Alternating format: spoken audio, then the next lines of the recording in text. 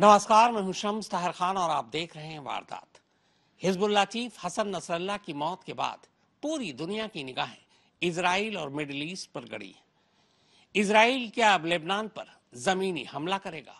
क्या Iran Israel पर पलटवार करेगा? और क्या इस बीच पूरी दुनिया दो हिस्सों में बट जाएगी? दरअसल ये मसला ही कुछ ऐसा है जिसे सुलझाना इतना आसान नहीं है, क्योंकि इस मसले की जड़ में है। 35 एकड़ की ज़मीन का एक टुकड़ा।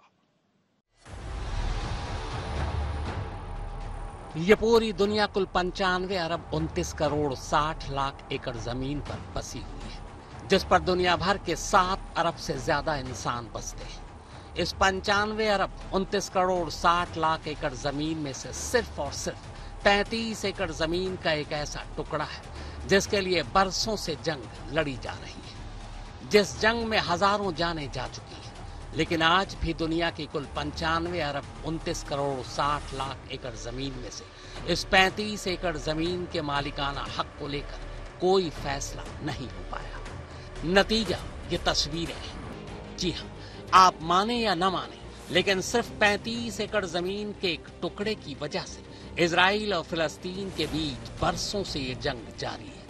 और इस जंग की आग में झुलस रहा है। पूरा मिडिल ईस्ट, जिसमें ईरान सबसे आगे है। ये यरूशलम है, और इसी यरूशलम में 35 एकड़ ज़मीन के टुकड़े पर एक ऐसी जगह है, जिसका ताल्लुक तीन तीन धर्मों से है। इस जगह को यहूदी हर हवाइयत या फिर टेंपल माउंट कहते हैं, जबकि मुस्लिम इसे हरम अल शरीफ बुलाते हैं। कभी इस पर फिलिस्तीन का कब्जा हुआ करता था, बाद में इसराइल ने इसे अपने कब्जे में ले लिया। लेकिन इसके बावजूद आज की सच्चाई ये है कि 35 एकड़ ज़मीन पर बसे टेंपल माउंट या हरम अल शरीफ न तो इसराइल के कब्जे में है और न ही फिलस्तीन के बल्कि ये पूरी जगह संयुक्त राष्ट्र के अधीन है। 35 एकड़ ज़मीन का ये वो टुकड़ा है जिस पर सैकड़ों साल पहले ईसाइयों का कब्जा हुआ करता था, लेकिन ग्यारह में यहाँ मुसलमानों का कब्जा हुआ और तब से लेकर 1948 तक मुसलमानों का ही कब्जा बरकरार रहा।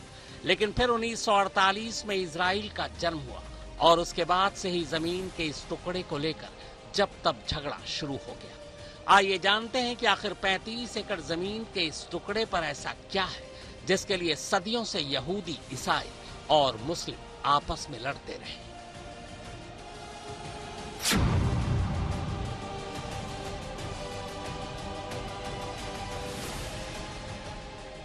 मुस्लिम मान्यताओं के मुताबिक मक्का और मदीना के बाद हरम अल शरीफ उनके लिए तीसरी सबसे पवित्र, यानी पाक जगह है।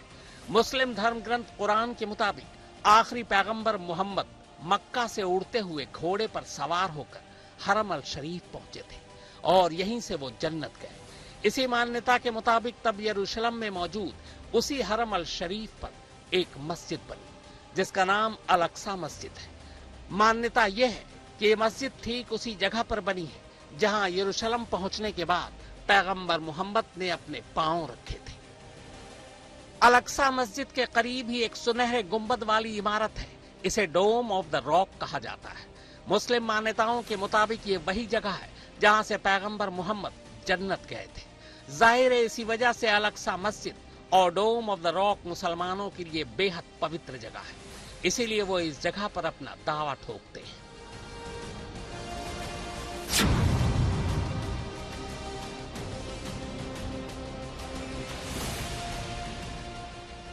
यहूदियों की मान्यता है कि यरूशलेम में 35 एकड़ की उसी ज़मीन पर उनका टेंपल माउंट है, यानी वो जगह जहाँ उनके ईश्वर ने मिट्टी रखी थी, जिससे आदम का जन्म हुआ।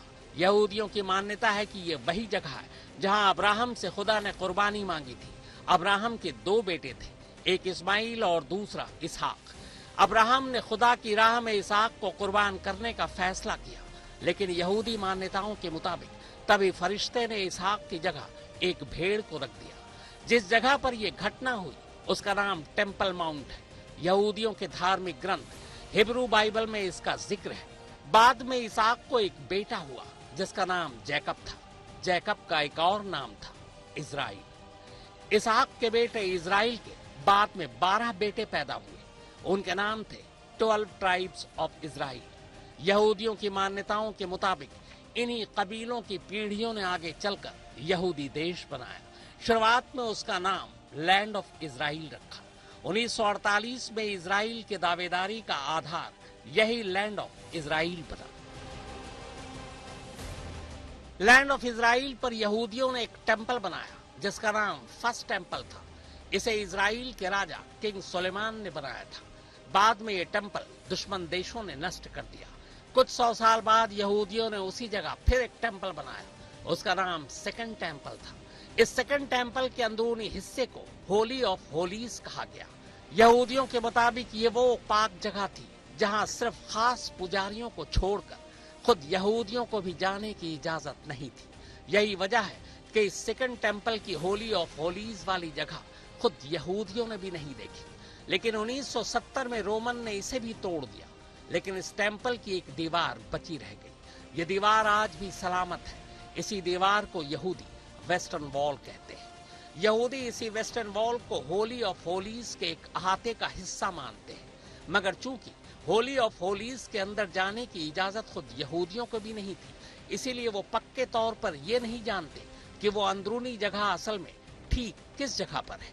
लेकिन इसके बावजूद वेस्टर्न वॉल की वजह से यहूदियों के लिए ये जगह बेहद पवित्र है।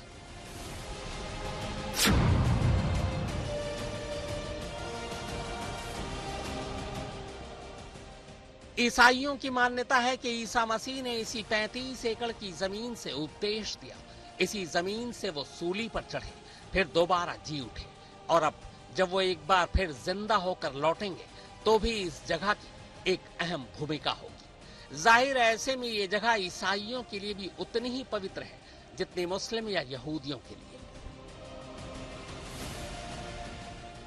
अब सवाल यह है कि 35 एकड़ की ज़मीन का यह टुकड़ा जब तीन तीन धर्मों के लिए इतना अहम है तो फिर फ़िलहाल इस पर कब्जा किसका है? इन धार्मिक स्थलों की रखरखाव की ज़िम्मेदारी किसके पास है? और इसके लिए खास तौर पर यहूदी और मुस्लिम आपस में लड़ते क्यों रहते हैं?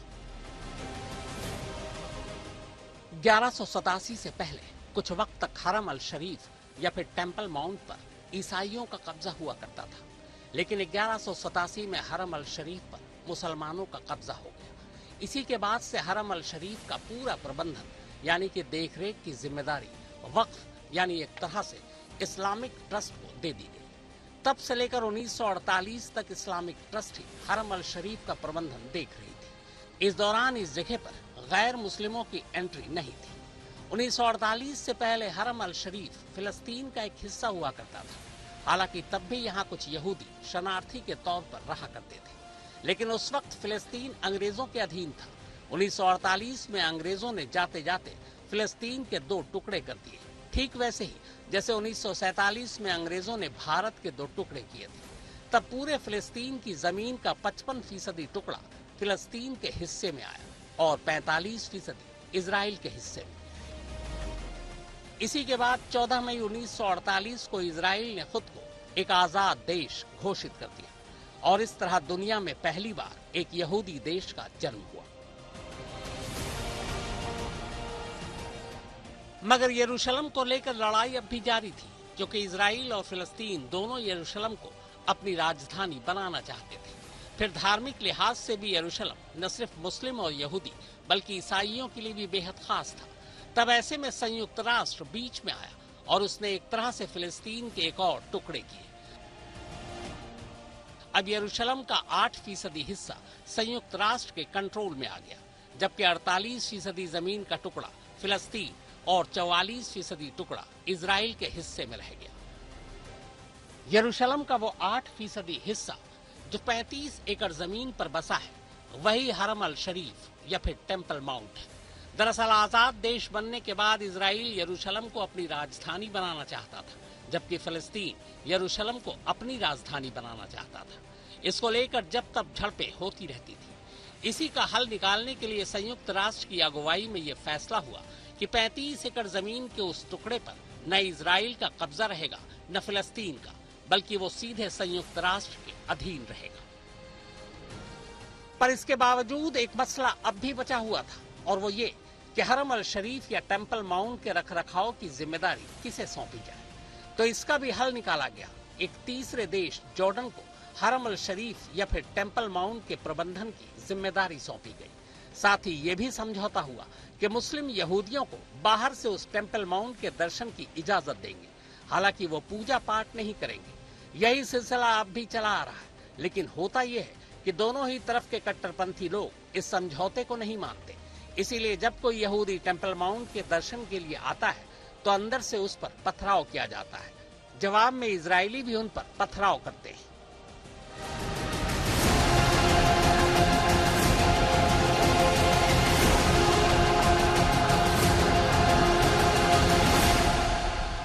मनीषा झा के साथ सुप्रतीम बैनर्जी, आज तक। इसराइल के जन्म के बाद से ही यह फैसला हो गया था। कि फिलिस्तीन के पास अपनी कोई सेना नहीं होगी इसराइल की ज़रूर होगी। इसीलिए जब भी इसराइल फिलिस्तीनियों पर हमला करता है तो फिलिस्तीनी उनका मुकाबला पत्थरों से करते हैं। इसके बाद फिलिस्तीन के समर्थन में ईरान आया और फिर हमास और हिजबुल्ला जैसे संगठन। वैसे तो इसराइल और फिलिस्तीन सालों से एक दूसरे से टकराते आ रहे हैं। दोनों मुल्कों की इस जंग में अब तक हज़ारों लोगों की जाने जा चुकी है।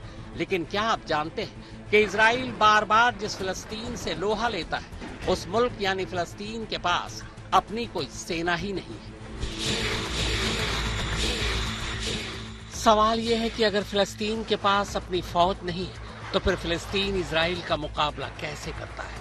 तो यहीं से शुरू होती है फिलिस्तीन के दोस्तों की कहानी। लेकिन इनमें फिलिस्तीन का जो सबसे बड़ा दोस्त है, वो कभी खुद सामने आकर इसराइल से नहीं लड़ता। बल्कि इसके लिए उसने हिजबुल्ला हमास और हुती जैसे संगठनों को या तो खड़ा किया या फिर हथियार और पैसों से मदद देता रहा। और ये दोस्त कोई और नहीं ईरान है। वही ईरान जिसने कभी भी इसराइल को एक देश के तौर पर मान्यता नहीं दी है।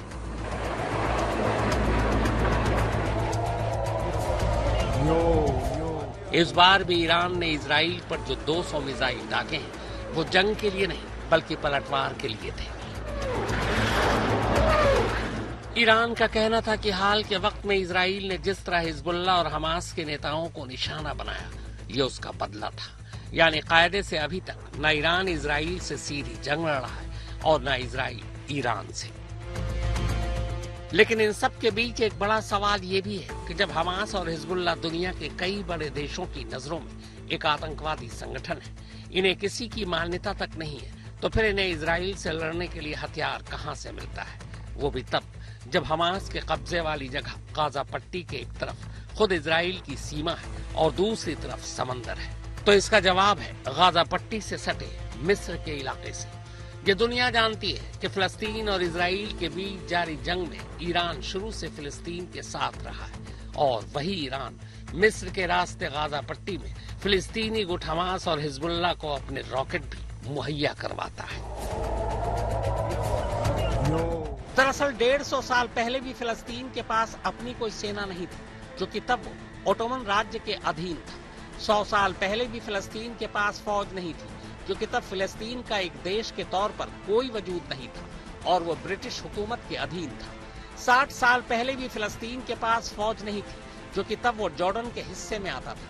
1988 में फिलिस्तीनी नेता यासिर अराफात ने पहली बार फिलिस्तीन को एक आज़ाद मुल्क का नाम दिया, जिसे जॉर्डन और मिस्र ने अपनी रजामंदी दी उन्नीस में इसराइल और फिलस्तीन के बीच हुए ओस्लो अकॉर्ड में इसराइल ने फिलस्तीन के फौज बनाने पर रोक लगा दी थी। इसके बाद से ही फिलस्तीन के पास अर्धसैनिक बल तो हैं, जो वेस्ट बैंक इलाके में तैनात रहते हैं, लेकिन कोई स्थायी फौज नहीं है, जबकि गाजा में सत्ता चलाने वाले हमास के पास लड़ाके हैं, जो अक्सर इसराइल को अपना निशाना बनाते रहते हैं। मनीषा झा के साथ सुप्रतीम बैनर्जी आज तक।